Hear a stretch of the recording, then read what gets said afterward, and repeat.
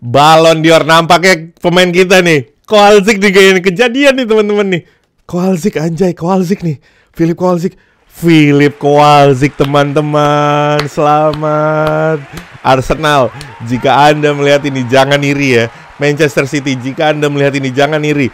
Ini adalah tahun kedua pemain Manchester United mendapatkan penghargaan Ballon d'Or seperti yang sudah kita duga ya. Terlihat di sana ada Rasmus Højlund juga. Untuk bulan ini fixtures tidak terlalu menarik teman-teman ya, tapi tentu saja ini pertandingan pertama akan menjadi sangat menarik selain dari uh, pertandingan yang lain ya. Karena kita menghadapi Tottenham Hotspur yang mengalahkan kita di Piala Super Eropa uh, mengalahkan kita di Piala Super Eropa dengan kondisi uh, tim yang tidak baik-baik saja ya, uh, ditinggal oleh Pilar terus juga strategi baru tapi sekarang kita sudah menemukan formulanya, menemukan formasinya, menemukan chemistry-nya um, dan pertandingan ini akan dihelat di Old Trafford apakah kita bisa mengatasi mereka?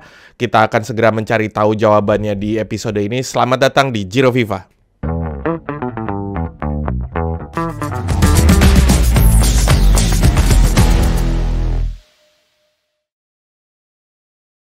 Ya untuk di episode kali ini di weekend ini kita tipis-tipis aja teman-teman ya gue akan menyajikan pertandingan full match antara Tottenham Hotspur melawan AZ Alkmaar. Jadi um, di hari Sabtu dan Minggu ini gue pengen menyajikan pertandingan full match karena uh, di weekend ini nampaknya gue nggak bisa live streaming.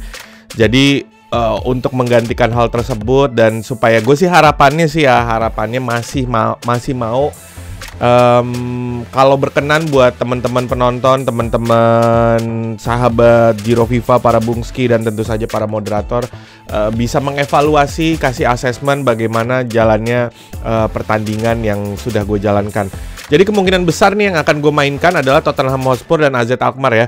Um, nanti kita lihat perkembangannya seperti apa. Jadi sekarang kita menuju ke persiapan melawan Spurs dulu teman-teman.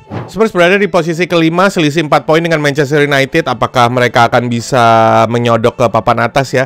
Sementara kita masih berada di posisi ketiga ya, selisih dengan uh, Manchester City itu 3 poin teman-teman. Kita sekarang poinnya sama kayak Arsenal bisa dilihat dia masih akan seperti masih akan menurunkan formasi yang sama saat mereka mengalahkan kita. Tapi tapi ada tambahannya.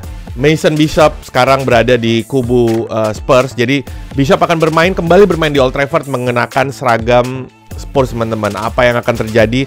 Tentu saja kita akan segera melihat aksi Bishop, Gomez dan Balogun yang akan bermain kembali di Old Trafford teman-teman. Dengan ada rencananya kita menjual Kowalczyk di musim ini, kesulitan gue adalah kita tidak pernah benar-benar punya striker yang bagus. Striker akademi yang bagus selalu dari luar ya Balogun, Rasmus Højlund, um, Kowalczyk, terus siapa lagi ya? Pemain akademi pun juga nggak ada yang bagus-bagus amat gitu. Jadi kesalahan gue adalah terutama di musim lalu ya. Di musim lalu gue terlalu bertumpu kepada Kowalczyk. Emang bagus banget sih itu orang. Kowalczyk itu bisa menjadi apa ya? uh, jawaban dari pertanyaan bukan pertanyaan, jawaban dari harapan gue. Dia nendang dari mana aja bisa. Nah, um, karena ada rencana kita akan menjual Kowalczyk di pertengahan musim ini sampai dengan pengumuman Ballon d'Or. Jadi McNeil akan gue berikan kesempatan untuk bermain ya minimal supaya overall ratingnya naik lah di musim ini teman-teman. Kasihan banget. McNeil itu adalah produk asli Manchester United. Jadi um, trio Lestari harus bisa berubah McNeil harus uh, memperkuat fisiknya, mempertajam uh, ketajamannya di depan gawang dan uh, memperbaiki mentalnya juga di pertandingan-pertandingan penting. Ini adalah salah satu pertandingan penting ya. Jadi uh, Kowalczyk akan gue istirahatkan di pertandingan ini. Kita akan melihat aksi McNeil menjadi um, striker utama di pertandingan kali ini, Bung. Naik kelas, McNeil naik kelas, ya. Kita akan melihat apakah dia bisa menjadi penyerang yang kita harapkan, ya, melakukan penyelesaian yang klinis So far sih kalau misalnya jadi super sub sih udah oke okay sih. Udah oke okay banget. Ya worst worst case sih si Greenwood lah kita jadiin striker. Uh, dia bisa kita jadiin striker dan McNeil masih tetap bisa jadi uh, pelapis dari Greenwood nantinya saat Kowalczyk dilepas. Karena walaupun memiliki Johnson dan Peterson, ya pemain itu akan kita jual, Bung. Seperti yang udah gue bilang ya, bahwa di musim ini akan akan menjadi pilar di tiga musim ke depan. Musim ke-8, ke-9, ke-10 kita akan mengarungi kompetisi dengan para pemain para pemain akademi. Kita coba Petrov. Anjir. Cukup keren sih. Petrov sang pengganti Mason Bishop ya. Diketawain Mason Bishop. Manajemen Manchester United cuma bisa segini nih katanya gitu. Mencari pengganti gua. Bagus sekali Greenwood, teknik yang luar biasa, Bung. Ball roll dikit. Eis. Aduh, siapa itu melakukan kesalahan nomor 32 tuh? Jonathan Taya. gila, gila, gila, gila Charlie McNeil. Itu kita butuh striker yang seperti itu ya. Tajam melihat uh, ini momen-momen. Nah, itu tuh cukup baik sih menjawab kepercayaan kita dengan cukup baik Charlie McNeil. Seperti yang dibilang oleh uh, Kibal ya bahwa terlalu OP memang koalisi kita membutuhkan satu tantangan baru. Ya udahlah, udah udah matang juga kan. Cover. Bagus sekali. Cukup tenang Bung ya. Cukup tenang. Gua rasa juga gua akan mendapatkan assessment yang cukup baik di pertandingan ini dari para Bungski. Greenwood, ayo kayu hijau. Eh jangan jangan. Aduh. Bukan umpan yang baik, Bung. Balogun, awasi awasi. Sayang ya sebenarnya si Mason Bishop itu, aduh duh. Bagus Anogo. Mason Bishop itu uh, apa pemberi asis yang ulung, Bung. Jago juga dia sering ngasih asis. Wih. Gila di pressing sama Gomez gitu ya. Keren sih.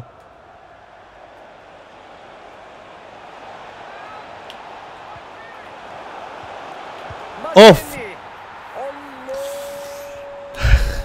keren, keren, keren, Sir. Tadi tuh di situ tuh kesalahannya si Tuan Zibi sih. Di sini nih. Ah, Sanogo juga aduh. Masih menyesuaikan ya para pemain muda kita. Kembali salah passing bung.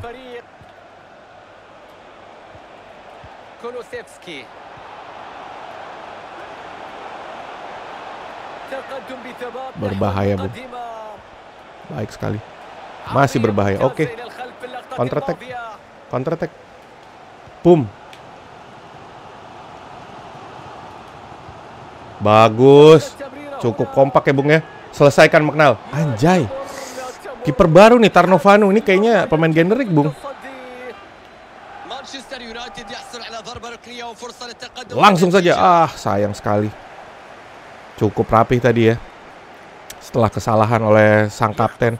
Aduh. Bagus bagus. Come on Sanogo. Nice. Batu Karang juga ini pemain akademi kita nih.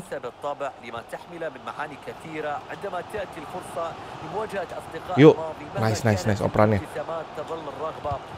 Aduh, Cardenas. Bagus tuh dari tadi tuh. Cover ya. Ah, nggak akan bisa ngejar Breno Gomez ini. Petrov. Momen berbahaya Bung dua gol McKenny di kandang kita. Aduh.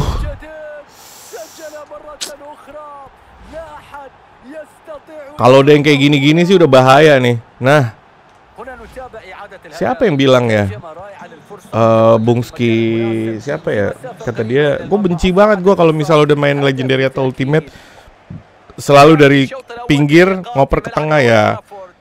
Memang metanya seperti itu, Bung. Greenwood nampak sudah kelelahan ya. Um, kita akan coba menurunkan Zhang di posisi sayap dan Kowalczyk di babak kedua ya. Cukup McNeil. Jangan terlalu sering-sering Anda ya. Kita masih masih di posisi yang belum aman ini. Winston McKennie mencetak gol. Pemain tengah dari Spurs ya. Ya Allah, itu bisa dihalau tadi. Grogi, grogi. Bagus Sanogo. Der. Hmm. Pum. Tenang sekali Bung, beda kelas Bung. Beda kelasnya memang anjay gila sih. Koalsik menunjukkan, jangan cadangin saya Pak, Anda jangan macem-macem bahkan dia nggak perlu mengeluarkan tendangan keras ya. Ini yang gue khawatirkan sebenarnya. Dengan menjual Koalzik bagaimana kondisi di lini depan kita bung? Kita nggak pernah benar-benar bisa produce penyerang loh. Beneran asli. Nggak ada kita sama sekali penyerang. Sayap sih jangan ditanya gelandang sih oke. Okay. penyerang kita nggak ada. Back back kita buset. Back kita keren-keren cok bahkan yang kita beli-beli aja juga jadi jago juga. Coach kita lumayan lah.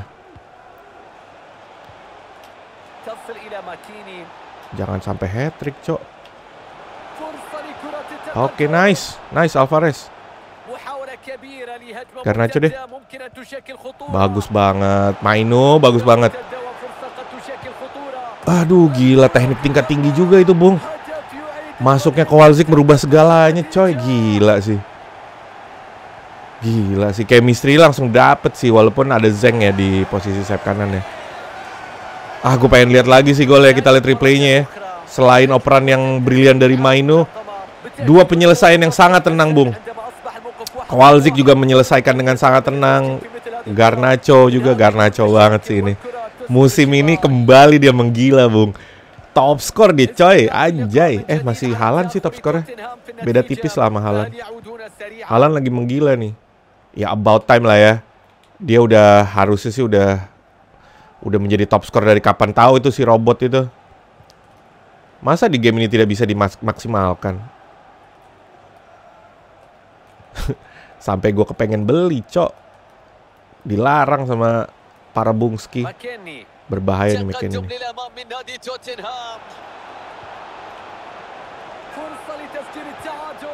Bagus, bagus, bagus. Untung gak handsball anjay. Oke, sana gue keluar dulu deh. Udah segitu, coy. Stamina Staminanya. Takahashi juga cukup lumayan sih, tapi kita lihat ya mentalnya. Semoga keunggulan ini bisa kita pertahankan dan kita tambah, Bung. Bagus. Zank. Zank.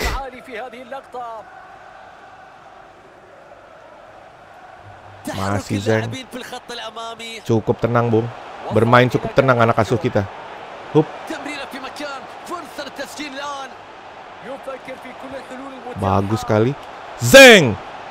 Aduh, sayang sekali, Bung. Masih menit 80 ya, belum aman kita ini. Pressing ketat. Nice, lolos dari pressing kita. Der. Ih, Gila loh kari handsball. Mampu, tap soba dua kali kesalahannya kasihan bung, kasihan dia. aduh, aduh, aduh, aduh, aduh, aduh. Aduh, Tuan Zibi juga capek lagi. Brian Gill, oke. Okay kita akan menyerahkan seperti biasa tendangan penalti kepada Philip Kowalczyk Kali ini gue akan kembali mencoba pojok kiri ya.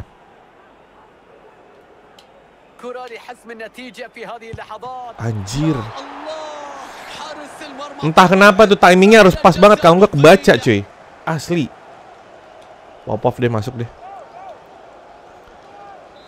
Agak riskan sebenarnya ngeluarin Garnacho, cuman ya atas alasan kebugaran ya. Aduh. Menit 87, Bung. Masih ada sekitar 5 menit lagi nih, kita harus uh, bermain tenang ya. Salah satu alasan gue menurunkan para pemain cadangan adalah kita butuh kekuatan saat counter attack. Anjir, pressingnya bagus banget. Ini yang gue takutin nih. Uf, nice, nice, nice. Yes. Ayo dong, Prit dong. Anjir gak dipah. Berhasil membalas dendam ya. Untungnya di pertandingan awal tidak menjadi parameter yang menjadi patokan yang sesungguhnya gitu loh. Kita berhasil comeback, kita berhasil uh, mengembalikan keadaan ya, menunjukkan kepada publik. Dan tentunya gue kepada para Bungski ya dan terima kasih atas masukan Adit di di episode berapa ya yang triple kill ya Adit juga ngasih masukan ke gue kalau dia bilang kan kayaknya harus ganti deh gitu nah ini gue ganti strategi seperti yang di musim-musim sebelumnya tapi gue enhance sedikit aja sih dan ternyata cukup efektif para pemain bertahan bermain cukup baik ya walaupun tidak sebagus Lesas dan uh, bisa para pemain bertahan kita. Balon Dior nampaknya pemain kita nih. Kowalczyk nih kayaknya kejadian nih teman-teman nih. Kowalczyk anjay, Kowalczyk nih. Philip Kowalczyk. Philip Kowalczyk teman-teman. Selamat. Arsenal, jika Anda melihat ini jangan iri ya. Manchester City, jika Anda melihat ini jangan iri.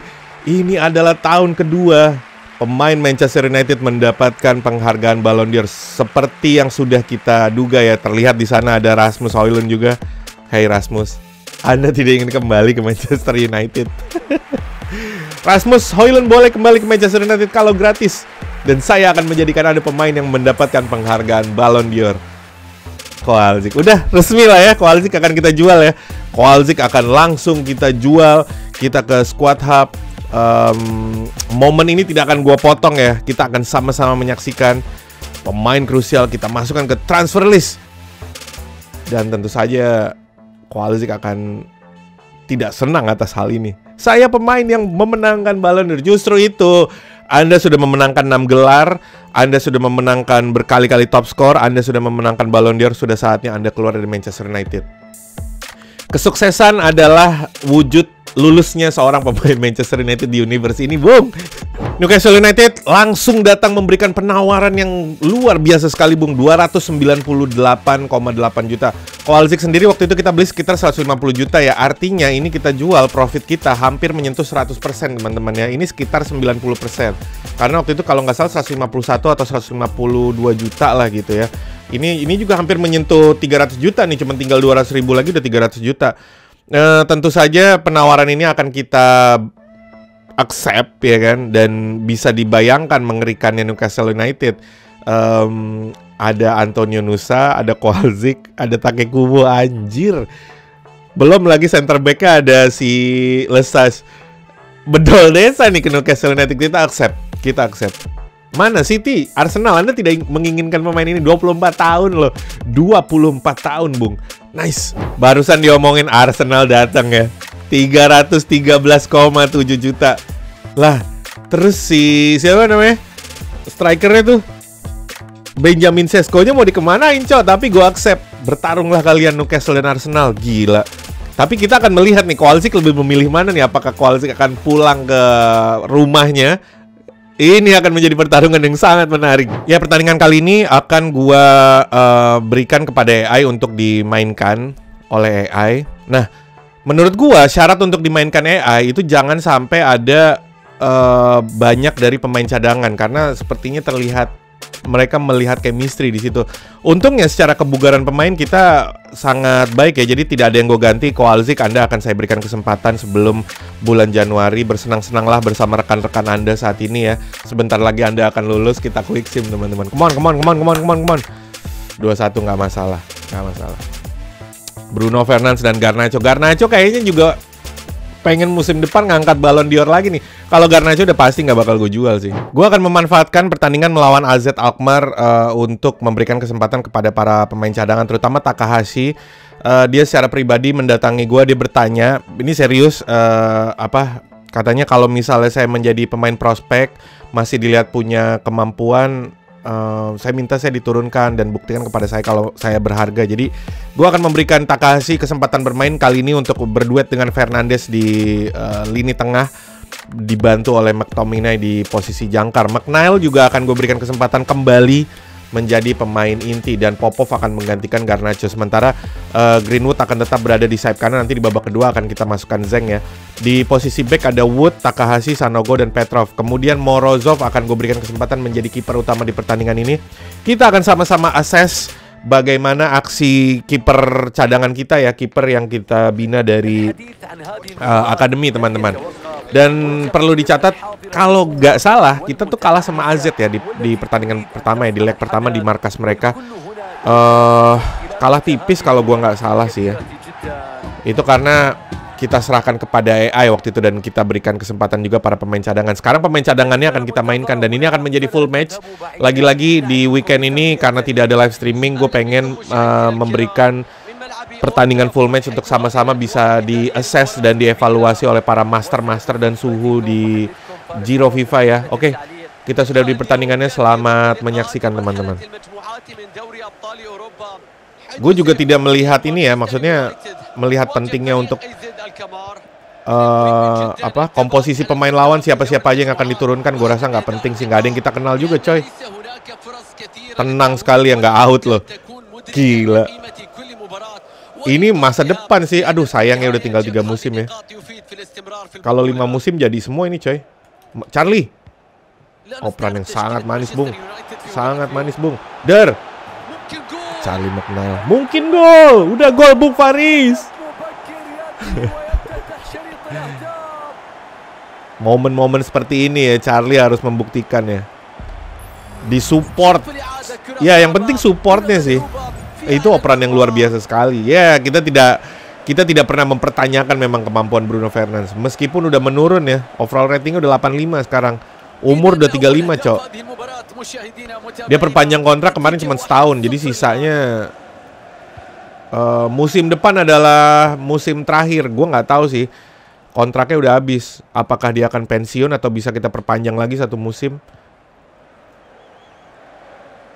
Bruno Fernandes ya pemain tua dengan stamina yang sangat luar biasa. Masih bisa bersaing dengan pemain muda. Bahkan Kobe aja stamina-nya tuh nggak kayak si Bruno Fernandes loh.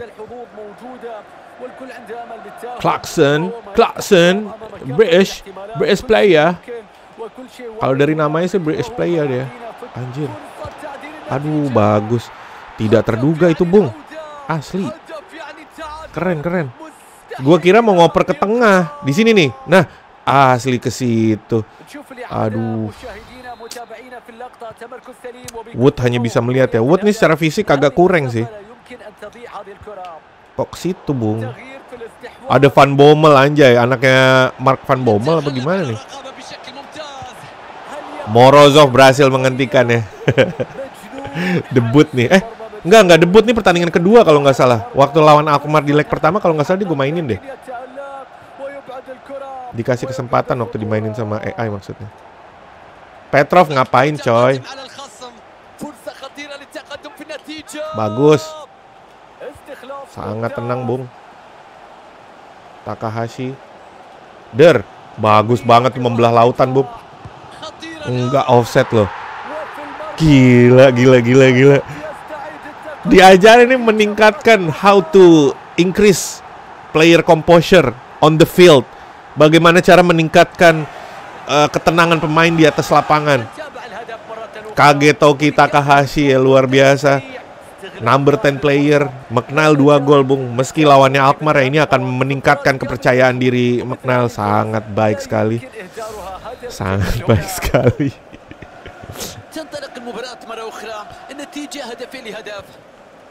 Formasi 4-3-3 nih ya. 4-3-3 lawan 4-3-3 nih. Equaresma, apakah Anda pemain Portugal? Nanti di babak kedua kita juga akan mengganti ini ya, Bruno Fernandes ya. Song Soma akan bermain di laga hari ini bu anjay salah tuh.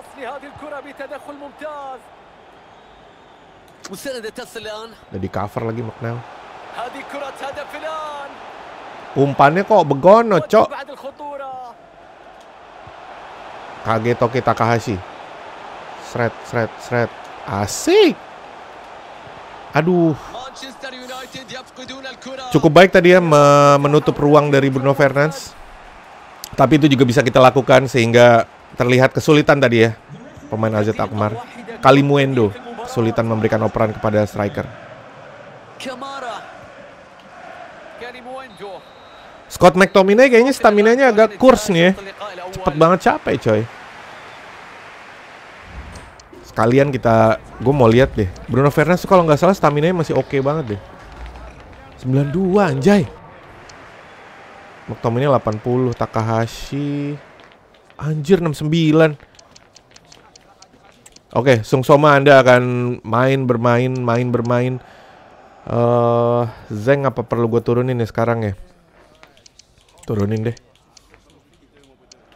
Untuk nanti di pertandingan laga lanjutan Liga Inggris ya. Kita membutuhkan level kebugaran yang baik. Karena semua akan gue serahkan kepada AI sih rencananya. Gue mau menghabiskan fixtures di bulan ini, Bum. Cukup tenang ya. Sung Soma. Sung Soma. Aduh, sayang sekali padahal pergerakan off the ball-nya bagus banget tuh dia tuh. Bagus banget nyari ruangannya. Gila. Gak bisa tahu kita ya dia masuk timnas apa enggak sayang ya. Kalau di Football Manager bisa tuh dicek tuh.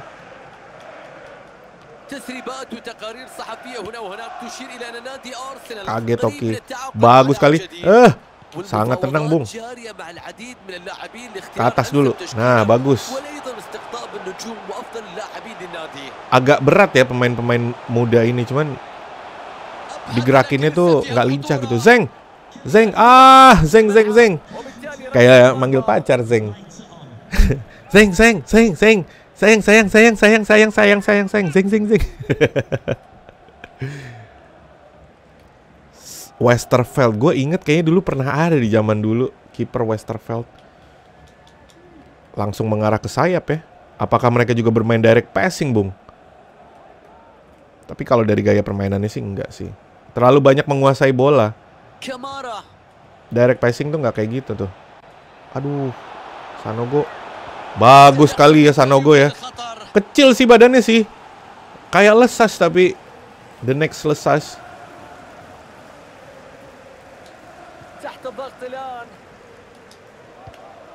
تحت الضغط الآن Aduh, في الدوري tutup الإنجليزي sama الممتاز Clarkson. ستكون المتعة حاضرة في الجولة القادمة في لقاء مانشستر يونايتد على ملعبه وبين جماهيره Kesulitan mereka ya. فريق بيرلي Udah sampai di depan dibalikin lagi bolanya. من كابينة التعليق والسعيد بصحبتكم بإذن الله Kagetoki.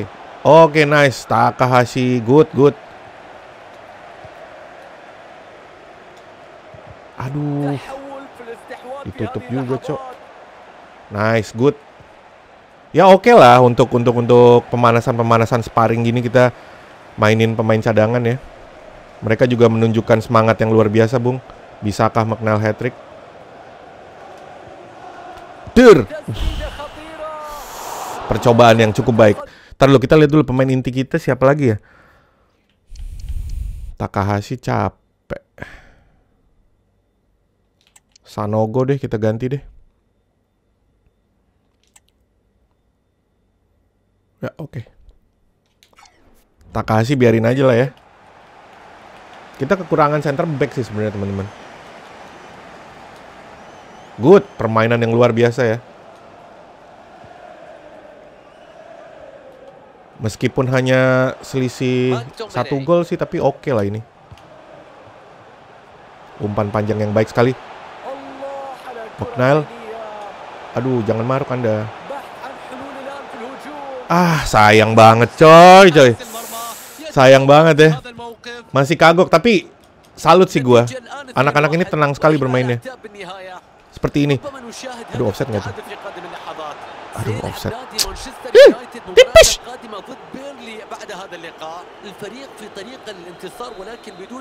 Maximov saatnya Maximov turun ya. Back sayap yang bisa bermain di posisi anjir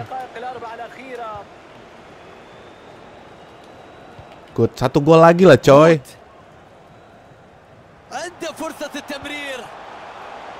Charlie. Ya, gimana Charlie? Orang mau gue kontrol dulu malah begitu dia. Insting golnya masih kecil. Ya, nanti kita menang.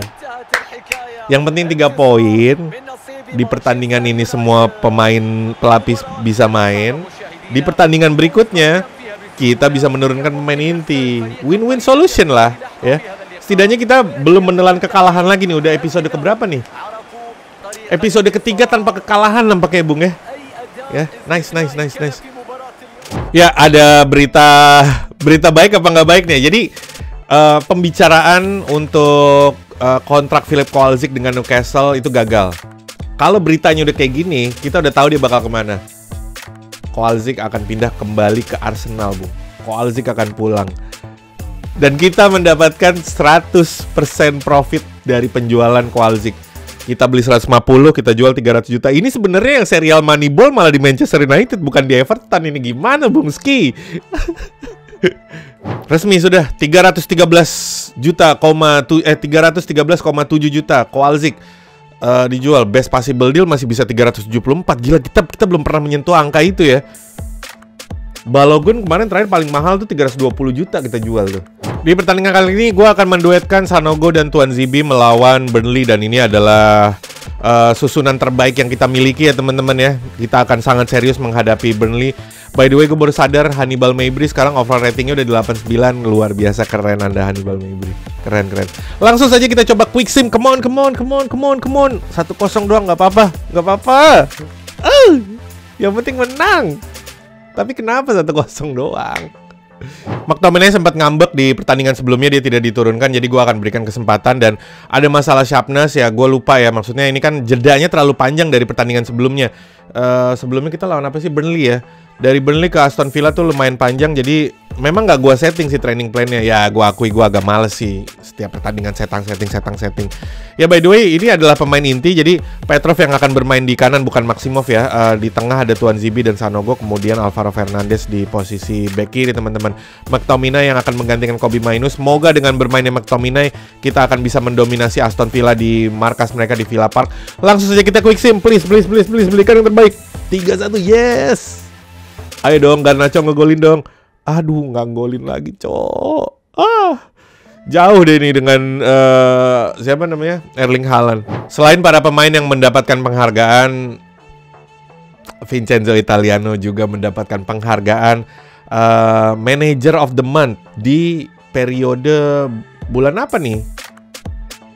Nggak nggak dikasih tahu nih di sini nih ya. Udahlah ya yang yang penting selain selain dari uh, para pemain kita juga pelatih juga dapat setelah ini kita akan melihat kondisi kita di klasmen sementara seperti apa teman-teman ya. Kita sudah aduh poinnya sama 3-2 tapi Manchester City masih main 12 kali.